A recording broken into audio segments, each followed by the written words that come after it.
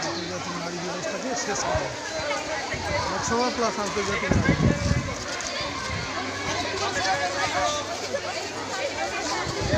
সামনে চলে এসো সামনে চলে এসো